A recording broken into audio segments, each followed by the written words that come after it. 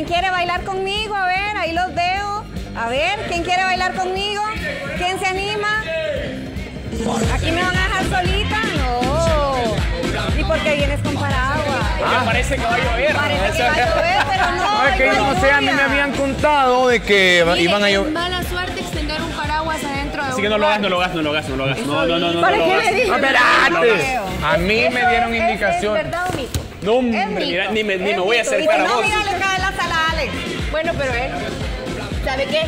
Ya no le va a caer el pisto del cielo. Pero a ustedes les van a llover los pescados.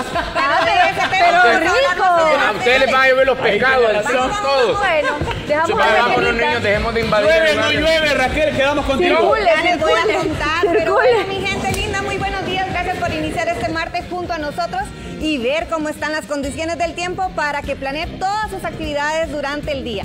Les voy a contar, bueno, por aquí tenemos el mapa y les voy a contar que este martes el cielo se presenta despejado, a poco nublado durante el día y a finales de la tarde e inicios de la noche también podremos observar nubosidades acentuadas, pero más que todo en el área montañosa de Honduras y también algunas lluvias aisladas. En este sector el viento por la mañana y por la noche estará de noreste a este con velocidades entre 6 a 18 kilómetros por hora. Así que va a estar fresquecito, un poquitito les va a llegar ahí el viento y por la tarde con velocidades va a estar entre 10 a 22 kilómetros por hora. El ambiente estará cálido durante el día y fresco únicamente en horas de la madrugada, como ustedes pueden sentir. Yo, la verdad, es que abro la ventana y dejo un poquitito que entre el fresco porque la verdad es que está intenso el calor estos días.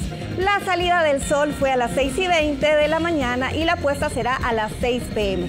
Las temperaturas, por aquí las tenemos. De Santana la máxima está a 31 grados y la mínima está a 18 grados. Está un poquitito más fresco que San Salvador porque presenta temperaturas máximas de 30 grados y mínimas de 19 grados.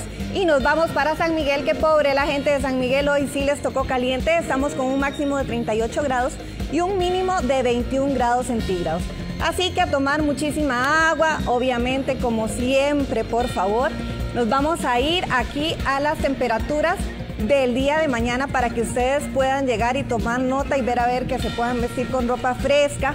Eh, un máximo de 33 grados centígrados y un mínimo de 18 grados centígrados. En Santa Ana, en San Salvador vamos a tener un 31 grados centígrados y un 16 grados centígrados como mínimo y en el área de San Miguel continuamos con temperaturas altas con 18 grados centígrados y 21 grados centígrados como mínimo.